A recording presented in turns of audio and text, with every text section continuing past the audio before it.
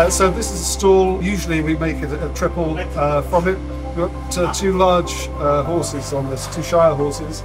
Um, so what we've done is sandwich the partitions together, make a much larger space here.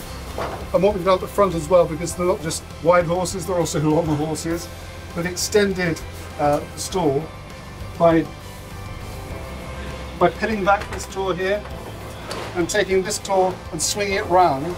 The horse has a lot more space. We're talking about uh, a good 18 inches more space uh, front to back. Um, so it just gives them that little bit more, a bit more breathing room.